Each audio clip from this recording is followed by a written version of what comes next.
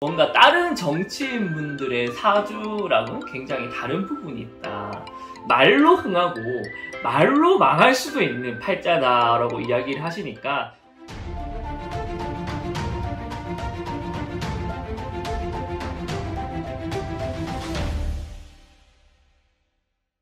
안녕하세요.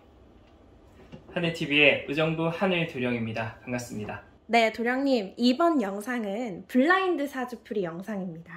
오늘은 정치가의 사주를 가지고 와봤어요. 이제 생년월일 말씀드릴게요. 네. 네, 올해 이제 67년생 정미생 양띠시다라고 일단 이야기 하셨네요. 공수 좀 받아보도록 하겠습니다.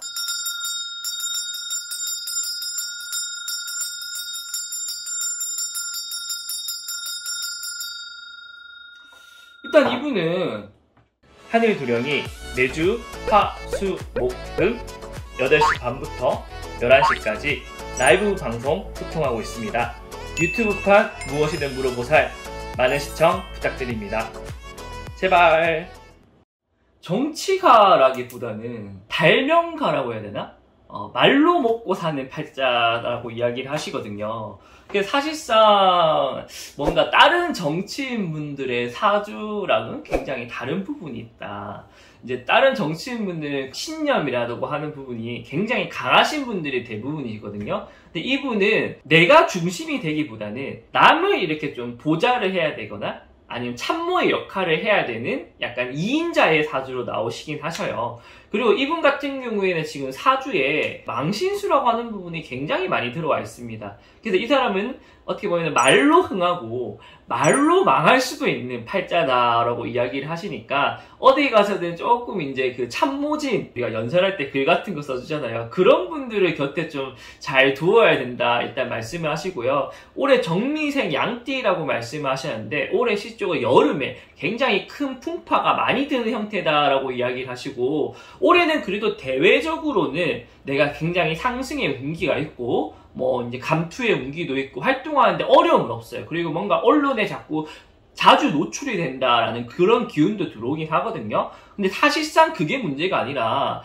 지금 이분은 지금 대문 밖의 일이 문제가 아니라 대문 안의 일들이 굉장히 조금 속 시끄러울 일들이 많다. 특히나 역대 지금 가정사에 있어가지고 관제수가 되게 되거나 누가 병원에 가게 되거나 올해 가정사에 있어가지고 이런 답답한 문제들이 사실상 대문 밖에 내가 대외적인 활동을 하는데도 어려움이 계속 생기는 상황이다라고 이야기하시니까 올해 같은 경우에는 내가 밖으로 문 밖으로의 일에 대한 중심보다는 가정 사이의 일들을 좀 많이 돌봐야 된다. 라고 일단, 일단 이렇게 공수를 주셨어요. 특히나 올해 여름에 불거진 일들이 지금 가을, 겨울 들어오면서도 실제로 내 망신수가 그냥 망신수로 인해가지고 한번 스포트라이트를 받고 딱 끝이 나는 게 아니라 내 뭔가 커리어에도 좀 지장을 받게 되는 운기가 들어와 있다라고 이야기하시거든요. 그러니까 그 관련된 부분을 굉장히 조심하는 게 좋을 거라 사료가 됩니다. 근데 이분은 그래도 다행인 게요. 굉장히 가늘고 길어요.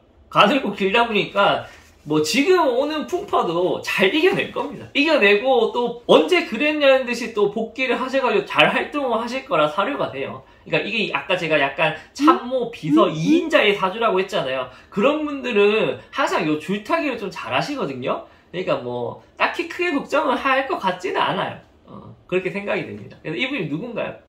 잠깐만 하늘도령을 또 보고 싶으신가요? 구독과 좋아요. 한 번만.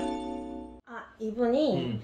그 장재원 국회의원님이세요. 장재원? 네. 장재원이 누구지? 이분 당이 네. 국민의힘. 아, 국민의힘. 네. 이분이 아들분 때문에 요즘 말이 많아요. 음. 아까 도령님이 이제 네. 대문 밖의 일보다는 네. 네. 대문 안에 일에 이제 풍파가 뭐 있다 하셨는데. 뭐, 뭐 잘못한 게 있어요?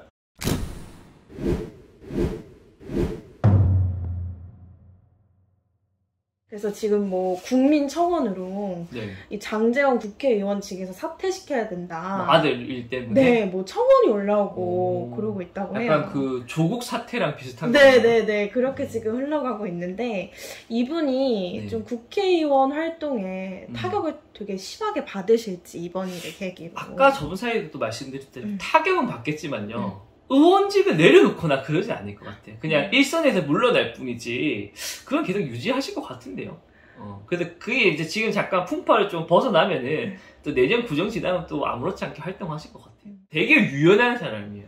그러니까 이제 바람이 불면은 우리는 챙겨야 될 것들이 있기 때문에 태풍을 다 피하지 못하거든요. 근데 이분 같은 경우에는 다 던져버려요. 다 던져버리고 일단 피신한 다음에 다시 또 그 복구하는 능력이 굉장히 뛰어난 그런 사주의 기질을 갖고 있기 때문에 잘 대처를 하실 것 같은데요 생각보다 그 음. 그 부분은 음. 그럼 내년 구정쯤에 다시 음. 되면은 그때는 운기가 다시 상승의 운기가 있으니까 음. 수습하시고 다시 활동을 하시지 않을까 싶네요 네.